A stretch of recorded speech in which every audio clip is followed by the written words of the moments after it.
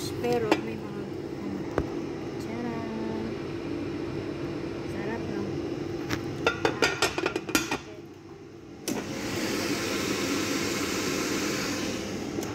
Hello guys, good morning, good afternoon, good evening everyone. Kumusta na po mga beshi ko? Hindi pa ako nakakaloto. Kumusta po ang araw natin? Today is Thursday, tomorrow is weekends here in parts of Middle East. So, kumusta po mga guys? Mga beshi ko, heto na naman po. At nagraras ang inyong gandang Pinay sa kusina. Ang kusina ng Kuwait. Dito lang sa bahay ha. Dito lang sa loob ng bahay namin. so, heto na guys. nag- Nag-prepare na ako kasi medyo na busy-busyhan ako kanina. So, marami na akong prepare na prepare. Ayan na. Nag-boil lang ako ng, ano ba to? Ng broccoli. Minix ko na yung broccoli. Ayan. Ayan. Sabay-sabay ko na rin yan. At syempre, arin yung mas, ah, mas, ah, ano ba to? mushroom at saka yung potato na iboboil ko lang yan. May mga asin na yan. Nilagyan na natin ng mga asin-asin. So, ito, ito, ano lang, ibabad lang natin to sa, kasi sobrang frozen siya. Kaya, babad ko lang siya dyan. So, hintayin lang natin siya na mainit-init kasi lumamig na yung tubig kahit boil off. Kasi gawa, inilagay ko yung ano, um, tawag doon, yung frozen na ah, broccoli kaya ayan pati yung nagbo-boil na ah, tubig naging malamig na rin. So i-drain na natin yan saglit. So syempre ito na naman ang ating ground chicken. Ayan nilagyan ko na ng onion at saka ah, garlic. I-marinated na natin siya guys. Sandali lang ha. Dito kasi hindi ako makikita eh. Nakikita kasi yung aking buong ano yung kagandahan ko hindi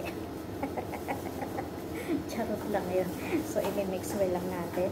Siyempre, lagyan natin ng, ngayon, maglalagay ako ng soy sauce, soya sauce with uh, Maggi soya sauce. Try ko.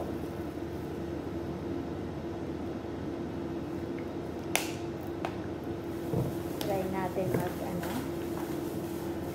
ayan, tumalsik na yung aking nasisira yung kagandahan ko rito, oh wala nang ko kontra ha? Walang kontra na. Ako lang naman. Eh pag nyari wala nakakakita syempre lagyan natin na spicy hindi mawawala ang hot. Nakasing hot ng magluluto. So kunti lang pampasarap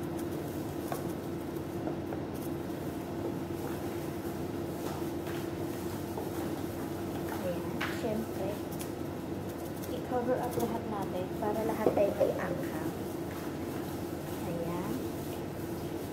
Siyempre, hindi mawawala ang ating meron din tayong paprika, sweet paprika. Kasi sweet naman yung nagluluto. Kailangan may sweet din yung ah, chicken. Kailangan sabayan yung magluluto kasi sweet naman siya eh. Hehehehehe. Ganun kailangan merong ano. Ayan, nagtarsika. May mga, may mga gusto na kumain sa baba o nagtarsika na yung aking mga ayan. Tanggalin na natin at nagbo-boil na. So, wait lang guys. I-drain ko ha.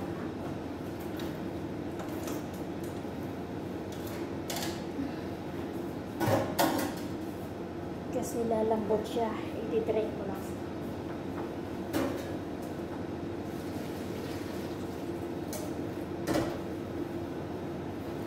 Ayan. Yung isa kasi okay lang yun kasi mushroom naman yun. Tsaka may potato yun sa ilalim. Ganyan ang mga lutuin. Simple lang. Pero masustansya yan. Kasi nagluluto yan masustansya. Charot-charot lang tayo ha guys. Siyempre di mawawala ang cumin natin. Nawala na si cumin. Asa na nagtago na siya yata. Siyempre ang black pepper.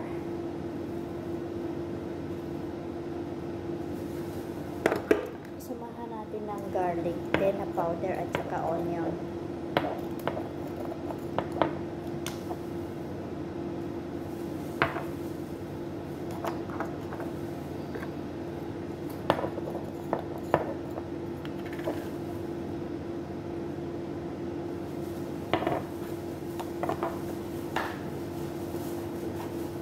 i-marinate natin. Kasi pero meron na akong ano, i-air fryer ko na lang siya.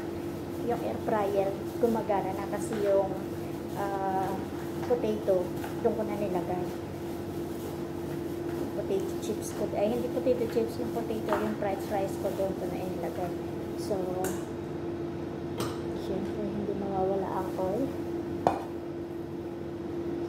Kailangan may oil guys para madulas. Walang masama sa madulas ha. Don't grand-minded sa madulas. o dumudulas para mas lalong madulas, no?